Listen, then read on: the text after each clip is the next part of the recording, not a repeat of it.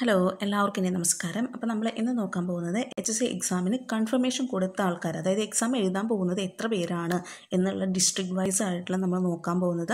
അപ്പോൾ ബ്രാക്കറ്റിൽ കൊടുത്തിട്ടുള്ളത് അപേക്ഷിച്ച ആൾക്കാരാണ് കേട്ടോ. അപ്പോൾ നമുക്ക് തിരുവനന്തപുരത്ത് നോക്കാം. എണ്ണൂറ്റി തൊണ്ണൂറ്റി ഒന്ന് പേരാണ് എന്ന് കൺഫർമേഷൻ കൊടുത്തിരിക്കുന്നത്. പക്ഷേ എക്സാമിന് അപേക്ഷിച്ചവർ ആയിരത്തി അറുപത്തി ഒന്ന് പേരുണ്ടായിരുന്നു. പക്ഷേ എക്സാം എഴുതാനുള്ള കൺഫർമേഷൻ കൊടുത്തത് എണ്ണൂറ്റി തൊണ്ണൂറ്റൊന്ന് പേരാണ്. കൊല്ലത്ത് എഴുന്നൂറ്റി എഴുപത്തി മൂന്ന് പേരാണ് എക്സാം എഴുതുന്നത്. അപേക്ഷിച്ചത് തൊള്ളായിരത്തി അമ്പത്തി നാല് പേരുണ്ടായിരുന്നു.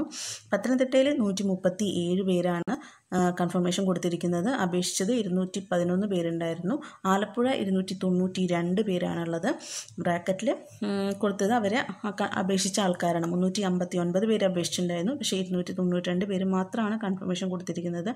കോട്ടയത്ത് ഇരുന്നൂറ്റി അമ്പത്തി അഞ്ച് പേര് മുന്നൂറ്റി മുപ്പത്തി മുന്നൂറ്റി ഇരുപത്തി മൂന്ന് പേര് എക്സാമിന് അപ്ലൈ ചെയ്തിട്ടുണ്ടായിരുന്നു. ഇടുക്കി നൂറ്റി ഇരുപത് പേരാണുള്ളത് ആകെ. അപ്പോൾ അപേക്ഷിച്ചത് ആകെ നൂറ്റി എൺപത്തി ഏഴ് പേരുണ്ടായിരുന്നു. അപ്പോൾ ഏറ്റവും കുറവ് അപ്ലിക്കൻസ് ഉള്ളത് അല്ലെങ്കിൽ എക്സാം അറ്റൻഡ് ചെയ്യാൻ പോകുന്നത് ഇടുക്കിയാൻ തോന്നുന്നു നൂറ്റി ഇരുപത് പേര്.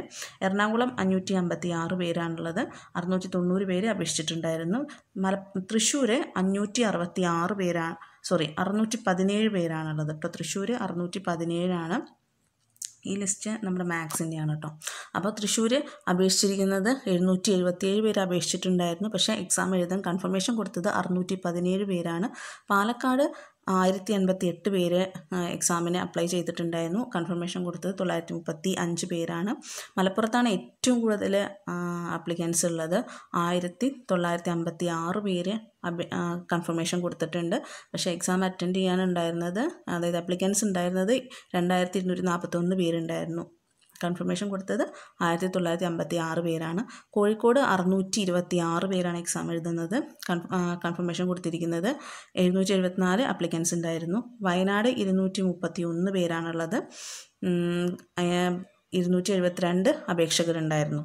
ഇനി കണ്ണൂർ അഞ്ഞൂറ്റി തൊണ്ണൂറ്റി മൂന്ന് പേര് അപേക്ഷിച്ചിട്ടുണ്ടായിരുന്നത് അറുന്നൂറ്റി അൻപത്തി ഒന്ന് പേര്. കാസർഗോഡ് നാനൂറ്റി അൻപത് പേരാണുള്ളത് അപേക്ഷിച്ചിരുന്നത് അഞ്ഞൂറ്റി പന്ത്രണ്ട് പേര്. ആകെ നമ്മുടെ നാച്ചുറൽ സയൻസ് എക്സാം എഴുതാൻ പോകുന്നത് എണ്ണായിരത്തി നാനൂറ്റി മുപ്പത്തി രണ്ട് പേരാണ് ആകെ എഴുതാൻ പോകുന്നത് കേട്ടോ. ഓക്കെ അപ്പോൾ ഇതാണ് ഇന്നത്തെ ഇൻഫർമേഷൻ. താങ്ക്